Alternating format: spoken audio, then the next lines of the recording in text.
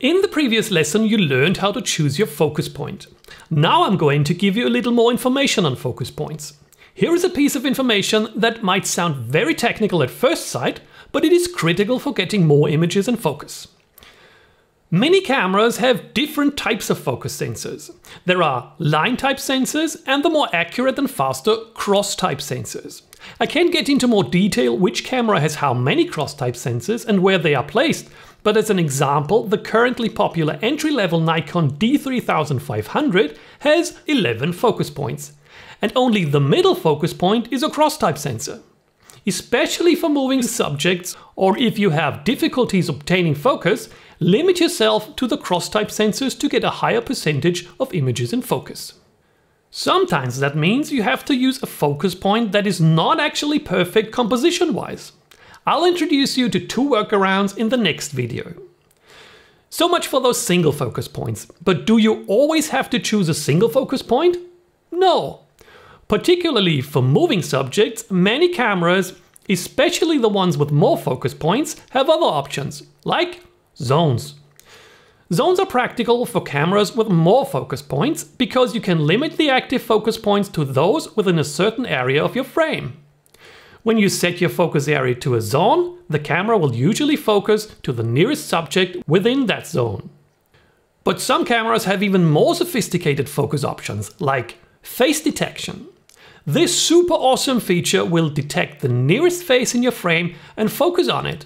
Usually, if it detects a face, you will see a square around it. But it gets even better than that. Some cameras have additional eye detection, focusing on the closest eye in your frame. Now, what you need to know in this regard is that some DSLR cameras only offer these awesome features when shooting in so-called live view mode.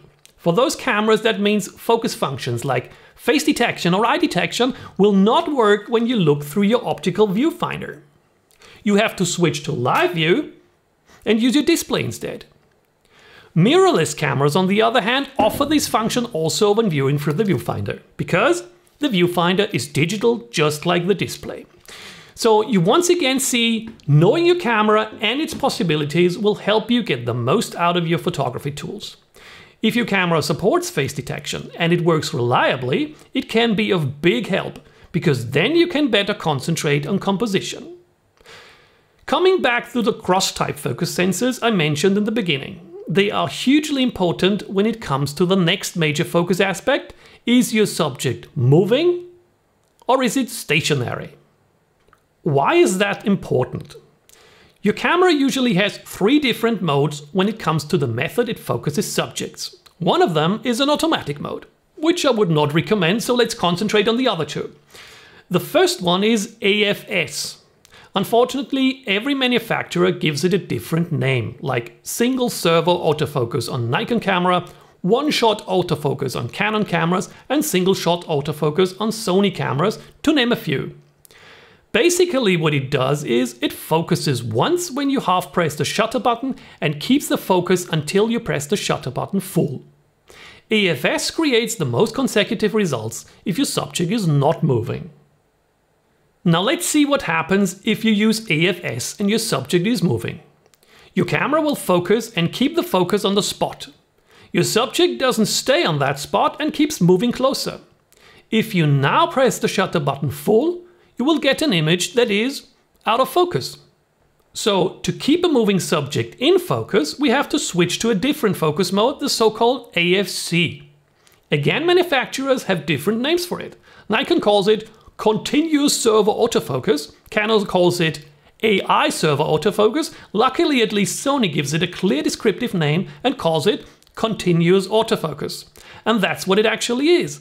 A continuous autofocus the camera continuously tries to keep the chosen subject in focus. Let's see a real life example again. Our subject is moving towards us, the camera continuously keeps the subject in focus and we get a series of focused images. That's super handy, isn't it? So why don't we use AFC all the time? Because AFS creates more reliable results for non-moving subjects. So before you photograph a subject, consider whether it will move or not and choose the right focus mode. let's take a break and practice choosing various focus modes or focus points and check if your camera supports face detection or eye detection before we continue to the next video. If this video was helpful for you, please help us rank higher in YouTube searches by subscribing, leaving a comment or simply spreading the word.